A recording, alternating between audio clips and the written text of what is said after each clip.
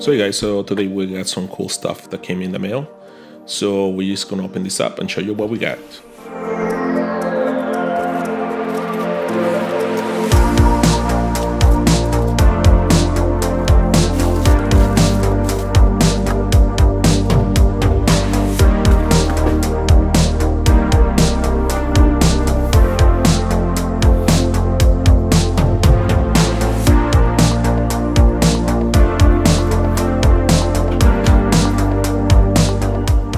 So you guys, as you know, you already see that this is the Mandalorian.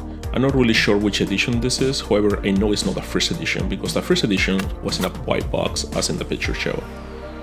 We're gonna be doing the full unboxing of it, so let's take this out. And to start, we're gonna take out the disruptor rifle, I believe, or the rifle. I'm gonna put the information on the screen and pretty much it's the, his main weapon and is the one used to electrify people and actually disintegrate them. Uh, pretty awesome. Also, I think it's used by the Tusken Raiders. And then we had a regular IB-94 blaster pistol, which is kind of reminds me of one of those cowboys uh, revolvers. Uh, so let's take him out. A little stuck in there, and it's because the cape is behind the plastic.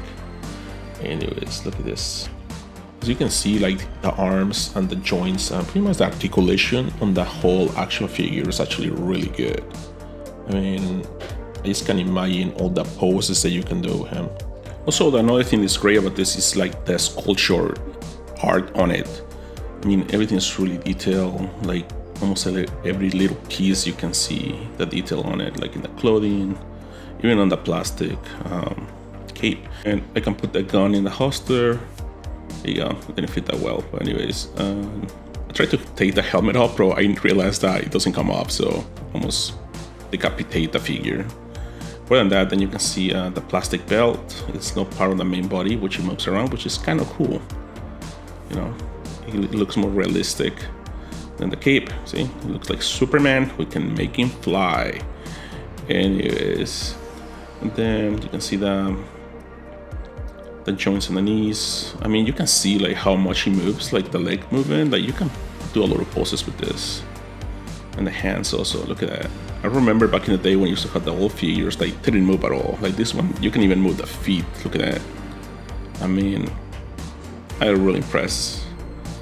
And also we take the gun, try to put in the hand. It didn't fit quite well. I know it has like a trigger finger also on the hand so I didn't went well. I think if I had spent more time on it, probably could like, make it fit that way supposed to.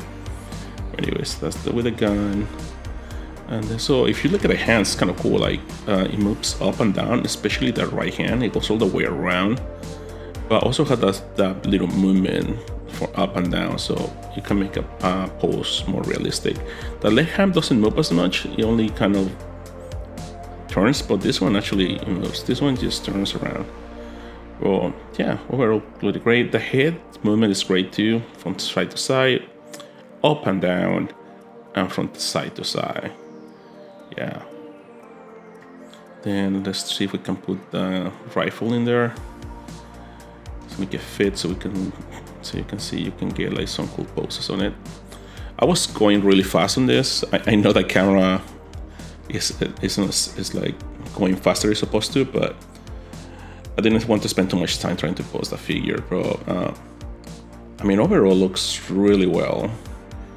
But then I put the gun in the holster again. It fits really well. I mean, looks great. Detail, great detail. Then let me close this down if I can. It's a little difficult because it's so tiny. However, anyways, guys, uh, if you like The Mandalorian and you like the Star Wars figures, I highly, highly recommend you to get this. I mean, just that detail is great. And what I can say. Uh, I'm probably gonna start collecting these things more. I mean, I only have one or two of them, but now after this, I'm probably gonna get all of them. Anyways, guys, thank you for watching. I'll talk to you guys later.